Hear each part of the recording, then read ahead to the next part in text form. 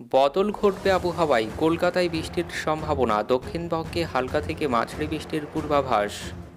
তো কলকাতা সহ দক্ষিণবঙ্গের কোন কোন জেলাগুলিতে কবে কখন বৃষ্টির পূর্বাভাস দিয়েছে আবহাওয়া দফতর এছাড়াও এই বৃষ্টি টানা কতদিন ধরে চলবে?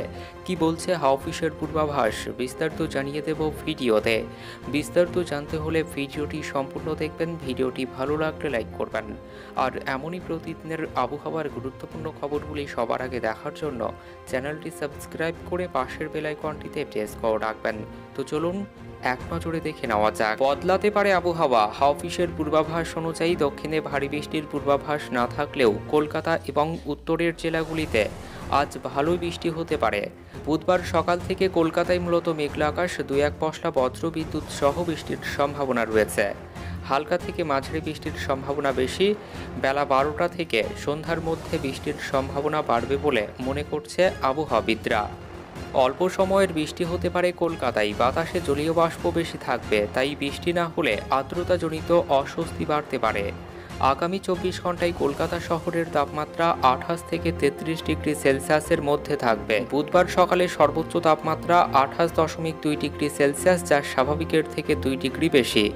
বাতাসে আপেক্ষিক আর্দ্রতার পরিমাণ পঁয়ষট্টি থেকে উননব্বই শতাংশ। বৃষ্টি হয়েছে খুব সামান্য।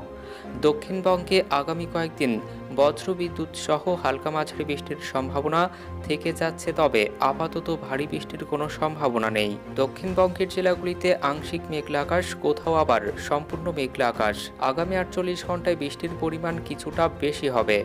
উত্তরবঙ্গে আজও ভারী বৃষ্টির পূর্বাভাস। ভারী বৃষ্টি হবে দার্জিলিং, কালিম্পং, আলিপুরদুয়ার, কোচবিহার ও জলপাইগুড়ি জেলাতে। আলিপুরদুয়ার ও কোচবিহার এই দুই জেলাতে বৃষ্টির পরিমাণ কিছুটা বেশি হবে। হালকা মাঝারি বৃষ্টি মালদহ এবং উত্তর ও দক্ষিণ দিনাজপুরে। উত্তরবঙ্গের জেলাগুলিতে আরও চার থেকে পাঁচ দিন বৃষ্টি চলবে। মৌসুমি অক্ষরেখা আবার উত্তর থেকে দক্ষিণ দিকে সরছে। বারাংশিকা ধানবাদ থেকে আমাদের রাজ্যের ওপর দিয়ে গিয়েছে মৌসুমি বায়ু। বাঁকুড়ার ওপর দিয়ে বঙ্গোপসাগর পর্যন্ত বিস্তীর্ণ রয়েছে মৌসুমী অক্ষরেখা। ঝাড়খণ্ড সংলগ্ন গাঙ্গীয় পশ্চিমবঙ্গের উপরে রয়েছে একটি ঘূর্ণাবর্ত।